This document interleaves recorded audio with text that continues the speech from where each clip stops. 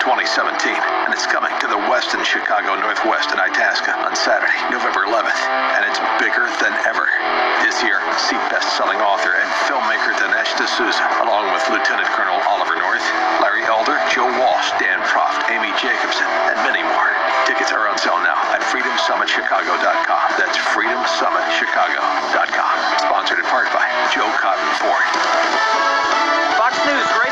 Chris DeMeo. Standing up to North Korea, expected to top the agenda when President Trump addresses the United Nations this week. This regime is so close now to threatening the United States and others with a, a, nuclear weapon that we really have to move with a great deal of urgency on sanctions, on diplomacy, and on preparing, if necessary, a military option. The National Security Advisor H.R. McMaster on Fox News Sunday.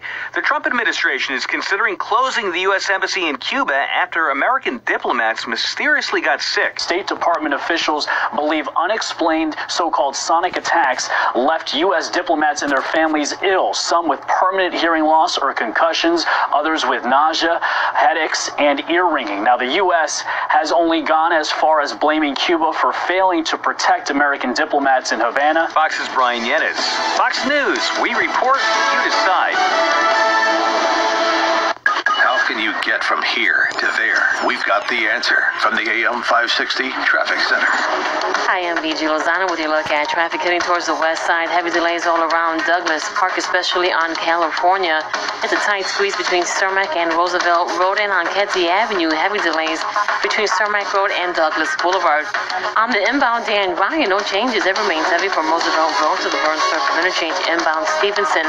Heavy between State Street and Lakeshore Drive, eastbound side of the O'Hare extension. It slows down from the airport to Mannheim Road and towards the inbound Kennedy. It's slowing down from Montrose to Pulaski.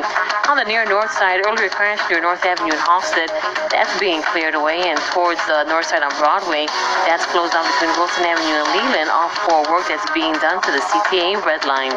Your current Chicago forecast is partly cloudy with around 62 for your Monday morning, a sunny high around 73 Monday night, all around 64. That's traffic on AM 560, The Answer. Is David Hochberg, Vice President Lending at